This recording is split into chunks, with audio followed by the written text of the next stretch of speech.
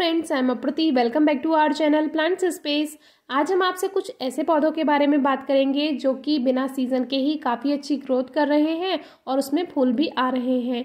तो comment box में काफ़ी सारे क्वेश्चंस आते हैं। जैसे हम कोई प्लांट शेयर करते हैं, उसकी फ्लावरिंग शेयर करते हैं, तब काफ़ी सारे क्वेश्चंस आ जाते हैं कि क्या ये पौधा अब हम ग्रो कर सकते हैं।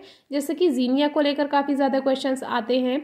तो जीनिया को अगर एक, वैसे जीनिया एक समर फ्लावरिंग प्लांट है तो आप उसको फरवरी लास्ट से, मार्च से, सीड से ग्रो करना शुरू कर सकते हैं तो उसकी फ्लावरिंग आपको गर्मियों में मिलती है। लेकिन अगर आपको अक्टूबर, नवंबर में उसकी फ्लावरिंग चाहिए तो उसके लिए आपको नए पौधे तैयार करने होंगे, क्योंकि गर्मियों वाले पौधे तो रेनी सीज़न में ख़त्म हो जाते हैं। फिर रेनी सीज़न से आप दोबारा सीड्स ग्रो कर सकते हैं, और उनकी फ्लावरिंग अब आप सितंबर, अक्टूबर, नवंबर में बहुत अच्छे से पा सकते हैं। जैसे कि आप आजकल नर्सरी में देख ही रहे होंगे ड्राफ्ट जीनिया मिलता है, जो कि छोटा वाला जीनिया होता है तो आप सीड से आसानी से उनको ग्रो कर सकते हैं और गर्मियों के अलावा भी जैसे शुरू सर्दियों में जब विंटर स्टार्ट होता है तब उसकी फ्लावरिंग आप पा सकते हैं। तो अभी हमने तोड़ देते नहीं आएँगी इसकी जगह। रेनी सीज़न के बाद ग्रो किए जाते हैं। तो कुछ ऐसे पौधे थे जो कि अपने आप ग्रो हो गए हैं तो वही आज आपसे शेयर करना था। ये कुछ प्लांट्स हैं जैसे कि फ़र्स्ट प्लांट है ये कैनफ जो कि लास्ट ईयर हमने शेयर किया था, कैसे ये हमें पौधा मिला था और कैसे इसके सीड्स भी हमने कलेक्ट किए थे तो दोनों वीडियो आपको डिस्क्रिप्शन बॉक्स में मिल जाएँगी। ज़रूर चेक कीजिए, बहुत ही खूबसूरत फ्लावरिंग करता है। जब ये पौधा ज़मीन में होता है तो ज़्यादा ग्रोथ करता है और पॉट में थोड़ी कम ग्रोथ कर पाता है। लेकिन ये सेकंड प्लांट है तिथोनिया और ये थर्ड प्लांट भी तिथोनिया का है, जिसको बटरफ्लाई मैग्नेट भी कहा जाता है, क्योंकि तितलियों को अपनी ओर आकर्षित करता है। तो इसमें फ्लावर बर्ड्स आने लगी हैं और बहुत अच्छे से ग्रोथ कर रहा है। हमें लगा नहीं था ये ग्रोथ करेगा क्योंकि अभी इसका सीज़न जा चुका है। ये एक समर फ्लावरिंग प्लांट है गर्मियों में फ्लावरिंग करता है और आप देखिए इस पे फूल भी खिल चुका है। तोड़ देते नहीं आएँगी इसकी जगह। और कलर गर्मियों में जैसे खिलता है वैसा ही है। ऐसा नहीं है कि कलर फेड हो या साइज़ छोटा हो बिल्कुल गर्मियों जैसी ही फ्लावरिंग कर रहा है। तो हमें ये लगा नहीं था कि ये ग्रोथ कर पाएगा तो हमने इसको उठाकर छोटी छोटी पॉलीथीन्स में लगा दिया था, क्योंकि ऐसा लगा नहीं था कि ये ग्रोथ कर लेगा। और कैनफ प्लांट भी जो हमारे पास सीड्स थे, वो हमने काफ़ी लेट ग्रो किए थे, क्योंकि इसको लगभग आप जून से ग्रो कर सकते हैं सीड से तो उसकी फ्लावरिंग आपको पूरे रेनी सीज़न मिलती है और काफ़ी दिन तक मिलती रहती है। और जैसे सर्दियाँ आती हैं, फिर ये प्लांट ग्रोथ नहीं करता है और उस पर फ्लावरिंग भी बंद हो जाती है।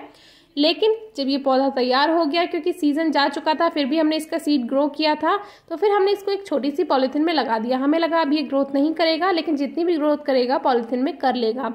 और ये वाला जो आप प्लांट देख रहे हैं, ये भी ऐसे ही अपने आप ग्रो हो गया था, जैसे हमने ट्रिथोनिया के सीड्स कलेक्ट किए होंगे, वो कहीं गिर गए होंगे तो फिर ये अपने आप ग्रो हो गया तो इसको भी हमने उठा करके फेंका नहीं, ना ही उखाड़ के फेंका, इसको हमने एक छोटी सी पॉलीथीन में लगा दिया फर्टिलाइज़र ऐड कर दिया था।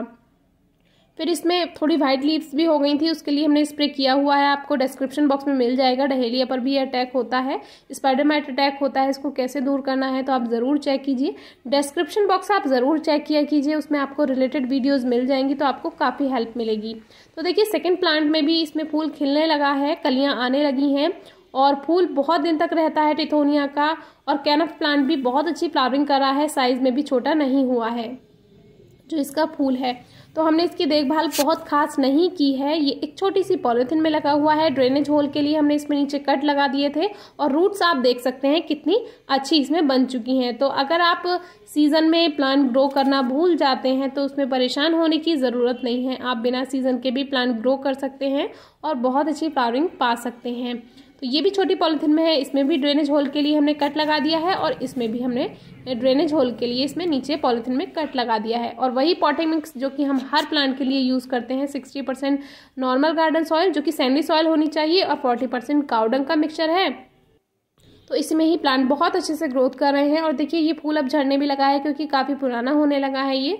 तो धीरे धीरे इसकी और भी कलियाँ आएँगी। हम इन पर सीड्स नहीं बनाएँगे क्योंकि गर्मियों वाले प्लांट में हम काफ़ी सारे सीड्स बना चुके हैं। तो जब ये फूल झड़ जाएगा तो इसको हम कट कर देंगे। बाकी हम इसको ऐसे ही नॉर्मल सनलाइट में ही रखते हैं, क्योंकि गर्मियों का प्लांट है तो सर्दियों में तो अगर इसको फुल सनलाइट मिल भी जाएगी पूरे दिन की तो भी कोई फ़र्क नहीं पड़ेगा।